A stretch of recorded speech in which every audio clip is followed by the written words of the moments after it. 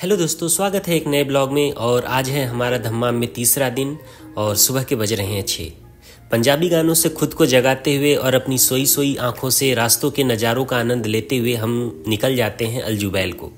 क्योंकि Saudi Arabia में जो सबसे क्लीन बीच माना जाता है, वो अलजुबैल के बीच माने जाते हैं और धम्माम ट्रिप पे आना और अलजुबैल न घूमना मतलब थोड़ा सा मज़ा किरकिरा सा लगता है। तो आज के ब्लॉग में हम कवर करेंगे अलजुबैल का अल फनातीर बीच और शाम को वापस आके धम्मा में हम चलेंगे King Abdullah Park fire work show देखने।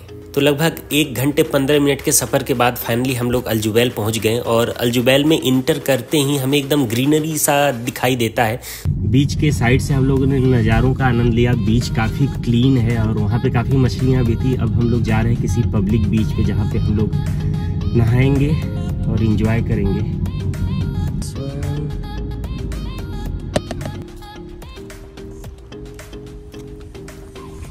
यहाँ पे एक प्राइवेट बीच है, जिसका नाम है बनाना बीच तो अल्फनातीर बीच पे इन्होंने काफ़ी कस्टमाइज बीच रखे हैं। कुछ पब्लिक बीच है और कुछ प्राइवेट बीच है। प्राइवेट बीच पे जाने के लिए एंट्री फ़ी देनी होती है और वहाँ से आप स्विमिंग सूट ड्रिंक्स स्नैक्स खरीद सकते हैं।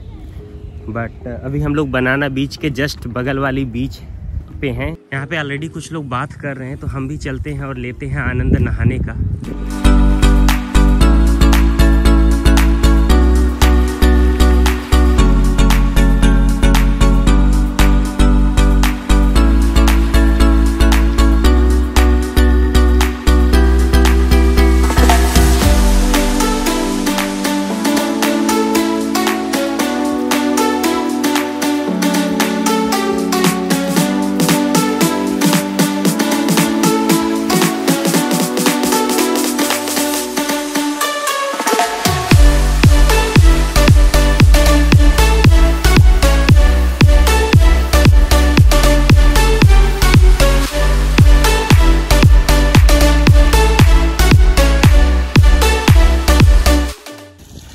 लगभग डेढ़ घंटे नहाने के बाद हम लोग फाइनली आ गए हैं बाहर। अब धूप भी काफ़ी हो गया था और तबीयत ख़राब ना हो जाए इसके डर से अब यहाँ पे सादे पानी से नहा के पूरा नमक छुड़ाएँगे शरीर का, उसके बाद चलेंगे नाश्ता करने। तो जुबैल के अल फनातीर बीच पे नहा कर मज़ा बहुत आया। लगभग डेढ़ घंटे हमने समुद्र के गहराइयों का आनंद लिया।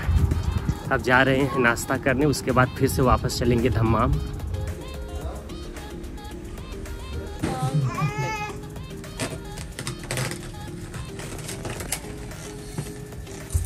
तो अभी शाम को हम लोग आ गए हैं अपना टाइम स्पेंड करने दमाम के किंग अब्दुल्ला पार्क में और सऊदी गवर्नमेंट के ऑफिशियल वेबसाइट पे यहाँ पे लिखा था कि आज फायर वर्क भी होगा नेशनल डे के उपलक्ष्य पे। तो देखते हैं फायर वर्क होता कि नहीं है। पीछे कुछ प्रोग्राम तो हो रहा है। ये पार्क एकदम समुद्र के किनारे बना है तो यहाँ ह्यूमिडिटी इतनी ज़्यादा है कि पूरा चेहरे पे पानी पानी, पसीना पसीना सा आ जा रहा है। रात के नौ बजे फायर वर्क शो होगा। इस चक्कर में हम लोग पार्क का प्लान रात में किए थे। नहीं तो दिन में आते तो समुद्र के नज़ारों का भी आनंद लेने को मिलता।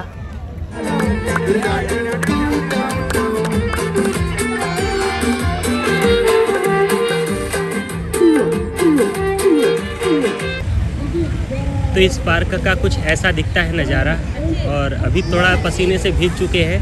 हालाँकि वो कहीं पे भी जाए, वो पसीना होगा ही।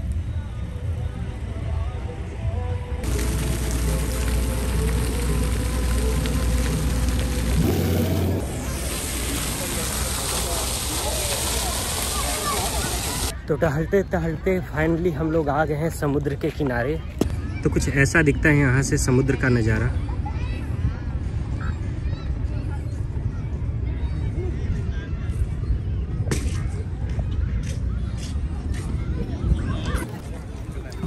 और यहाँ पे बच्चों को खेलने के लिए भी काफ़ी बड़े एरिया में प्ले जोन ग्राउंड बनाया गया है।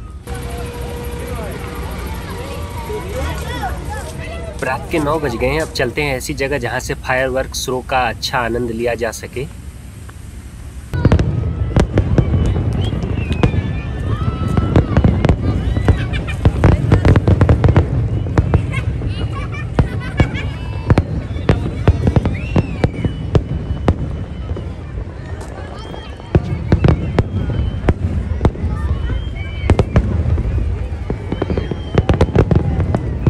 तो हमारे साथ आप लोग भी लीजिए फायर शो का आनंद आज के ब्लॉग में इतना ही। और जल्दी मिलेंगे आपसे एक नए ब्लॉग में। तब तक के लिए दीजिए इजाज़त। नमस्कार।